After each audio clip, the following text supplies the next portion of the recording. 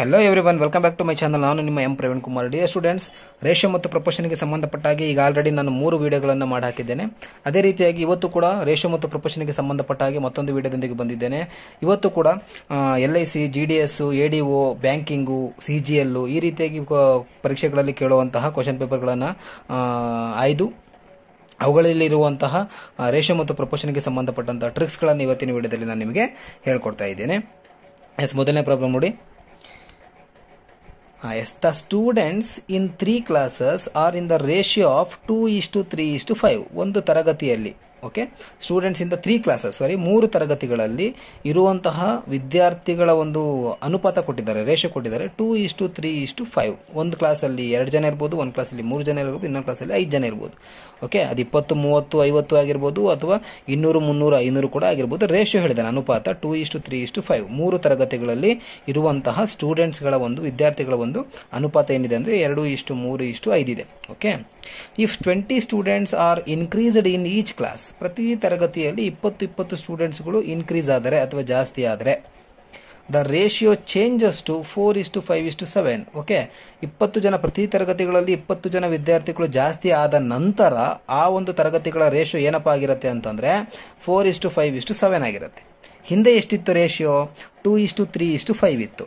ಪ್ರತಿ ತರಗತಿಗೆ ಇಪ್ಪತ್ತು ಜನ ವಿದ್ಯಾರ್ಥಿಗಳು ಆ್ಯಡ್ ಆದಮೇಲೆ ಏನಾಗಿದೆ ratio four is to five ಇಷ್ಟು ಸೆವೆನ್ ಆಗಿದೆ.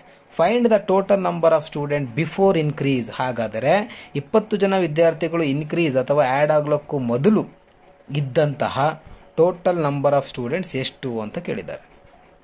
ಓಕೆನಾ ಇದನ್ನು ನಾವು ಟ್ರೆಡಿಷನಲ್ ಮೆಥಡಲ್ಲೂ ಮಾಡ್ಬೋದು.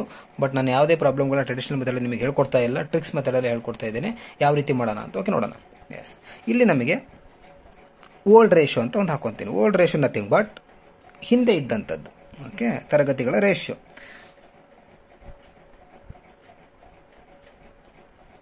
Old ratio. ಎಷ್ಟಿತ್ತು ತರಗತಿಗಳ ratio? Two is to, three is to, five. Is it right ಹಾಂ? Five.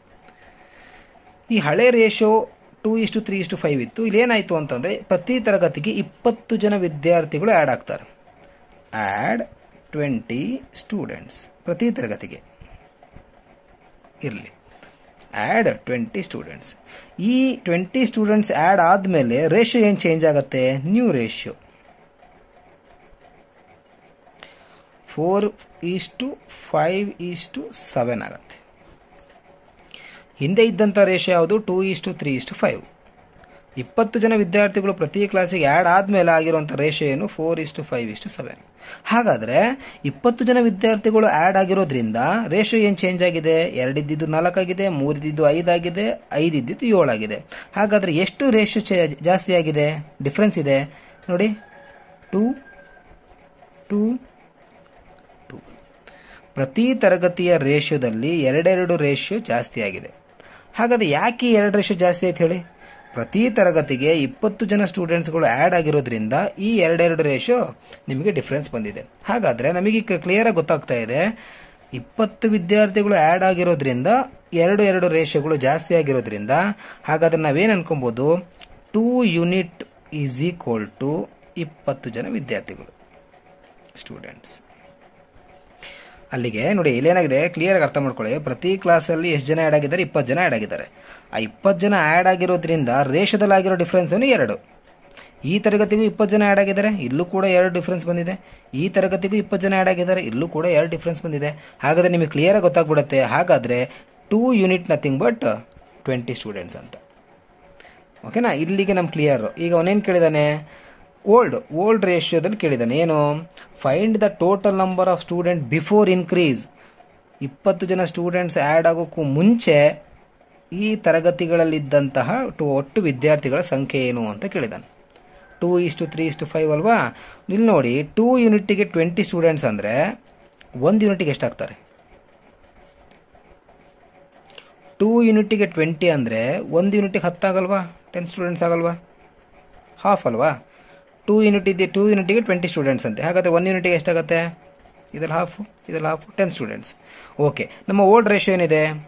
Two is to three is to five ಒಂದು ಯೂನಿಟಿಗೆ ಹತ್ತು ಸ್ಟೂಡೆಂಟ್ಸ್ ಅಂದರೆ ಎರಡು ಯೂನಿಟಿಗೆ ಎಷ್ಟು? ಒಂದು ಯೂನಿಟಿಗೆ ಹತ್ತು ಸ್ಟೂಡೆಂಟ್ಸ್ ಅಂದರೆ ಎರಡು ಯೂನಿಟಿಗೆ ಇಪ್ಪತ್ತು ಸ್ಟೂಡೆಂಟ್ಸ್ ಆಗ್ತಾರೆ. ಓಕೆ ಅದೇ ರೀತಿ ಒಂದು ಯೂನಿಟಿಗೆ ಹತ್ತು ಸ್ಟೂಡೆಂಟ್ಸ್ ಅಂದರೆ ಮೂರು ಯೂನಿಟಿಗೆ ಎಷ್ಟಾಗ್ತಾರೆ? ಒಂದಕ್ಕೆ ಹತ್ತು ಅಂದರೆ ಮೂರಕ್ಕೆ ಮೂವತ್ತಾಗ್ತಾರೆ. ಅಗೈನ್ ಒಂದು ಯುನಿಟಿಗೆ ಹತ್ತು ಸ್ಟೂಡೆಂಟ್ಸ್ ಅಂದರೆ ಐದು ಯೂನಿಟಿಗೆ ಎಷ್ಟಾಗ್ತಾರೆ? ಒಂದಕ್ಕೆ ಹತ್ತು ಅಂದರೆ ಐದಕ್ಕೆ ಎಷ್ಟಾಗತ್ತೆ? ಐವತ್ತಾಗತ್ತೆ. ಓಕೆನಾ ಟೋಟ್ಲ್ ಮಾಡಿ ಈಗ.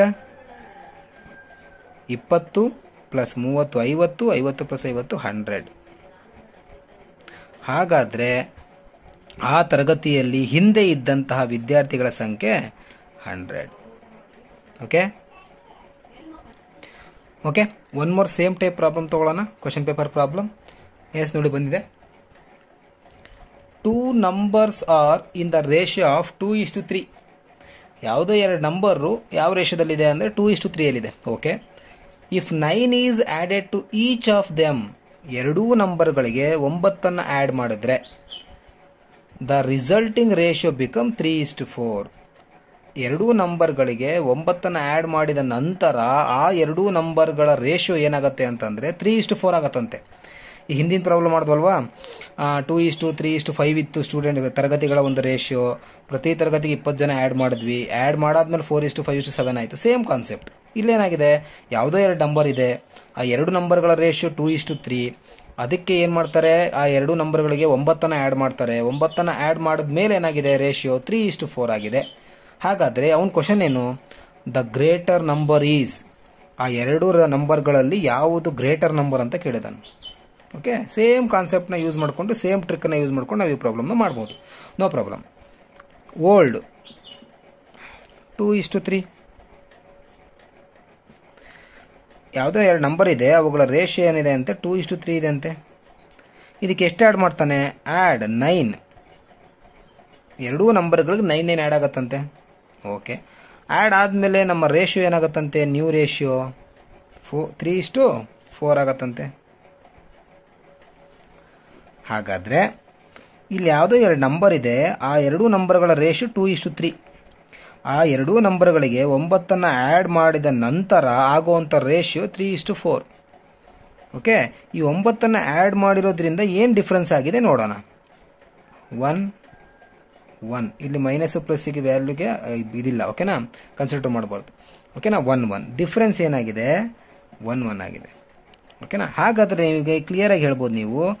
ಇಲ್ಲಿ ಒಂಬತ್ತನ್ನು ಆ್ಯಡ್ ಮಾಡಿರೋದ್ರಿಂದಲೇ ಒಂದೊಂದು ಡಿಫ್ರೆನ್ಸ್ ಬಂದಿದೆ ಅಂತ. ನಥಿಂಗ್ ಬಟ್ ಈಗ ಏನಾಗುತ್ತೆ? One unit is equal to nine ಹೌದಲ್ವಾ? One unit is equal to nine okay one unit nine ಆದರೆ ಅವನು ಓಲ್ಡ್ ಏನಿದೆ ಇಲ್ಲಿ? ಟೂ ಟೂ ಇಷ್ಟು ತ್ರೀ ಅಲ್ವಾ? ಟೂ ಇಷ್ಟು ತ್ರೀ ಇದೆ. ಒಂದು ಯೂನಿಟಿಗೆ ಒಂಬತ್ತಾದರೆ ಎರಡು ಯೂನಿಟಿಗೆ ಎಷ್ಟು? ಎರಡು ಇಂಟು ಒಂಬತ್ತು ಮಾಡಿ, ಹದಿನೆಂಟು ಆಗತ್ತೆ. ಓಕೆ ಒನ್ ಯೂನಿಟಿಗೆ ಒಂಬತ್ತಾದರೆ ಮೂರು ಯೂನಿಟಿಗೆ ಎಷ್ಟು? ಇಂಟು ನೈನ್ ಮಾಡಿ, ಇಪ್ಪತ್ತೇಳು ಆಗುತ್ತೆ. ಓಕೆ ಹಾಗಾದರೆ ಅವನ ಕ್ವಶನ್ ಏನು? ಗ್ರೇಟರ್ ನಂಬರ್ ಯಾವುದು ಅಂತ ಕೇಳಿದಾನೆ. ಗ್ರೇಟರ್ ನಂಬರ್ ಯಾವುದು ಗ್ರೇಟರ್ ನಂಬರ್ ಏಯ್ಟೀನಾ twenty ಸೆವೆನ್ನಾ twenty seven is the greater number